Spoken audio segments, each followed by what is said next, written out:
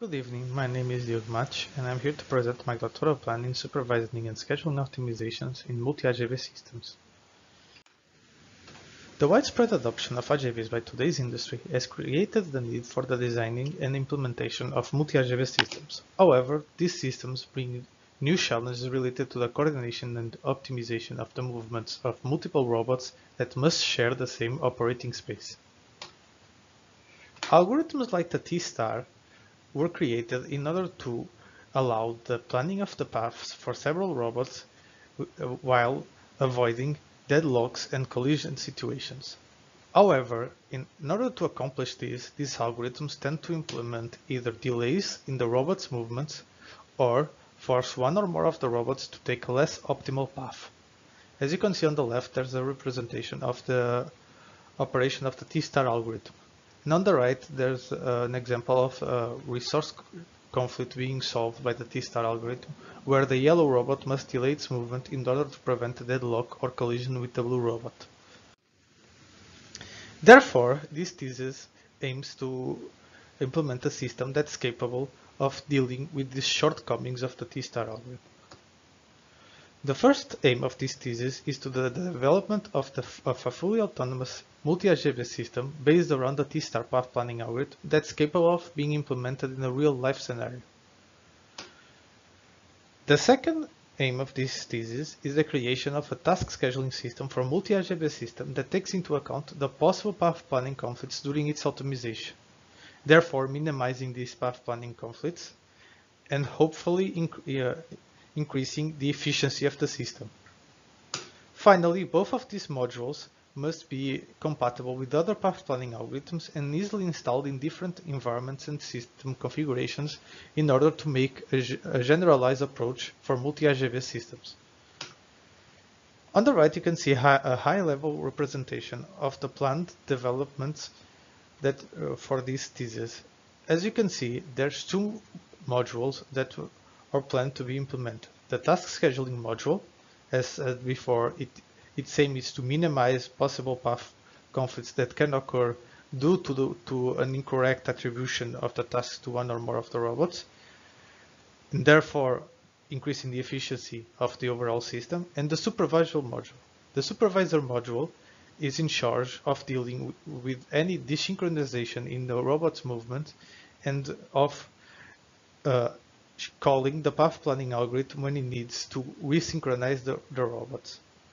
Therefore, dealing with any of the shortcomings that the T-star path planning algorithm has when implemented in real-life scenarios where there can be delays in the movement of the robots. Here is the schedule we have planned for this thesis. As you can see, there's three milestones. We are currently at the end of the first milestone that the most important task in this first milestone is the preliminary study of the optimization algorithms.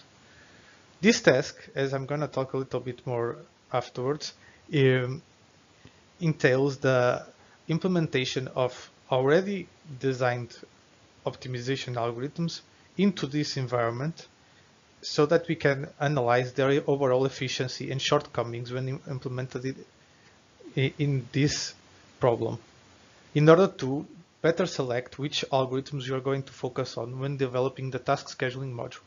The second milestone is the finishing of the development of the task scheduling module. The third milestone is the, the, testing and uh, the implementation of the supervising module. And finally, then there's the integration test where we integrate the full system and check if it's everything is working as intended. This work uh, is executed in collaboration with the Center for Robotics in Industry and Intelligent Systems from INESCTEC, Greece. Uh, on the right, there's an image of my workstation, as you can see, in INESCTEC Labs in the Hypercenter in Ariosa. Here are the classes that uh, I chosen uh, for my PhD. As you can see, most of these classes focus on optimization methods in order to better be aligned with the aim of my PhD thesis.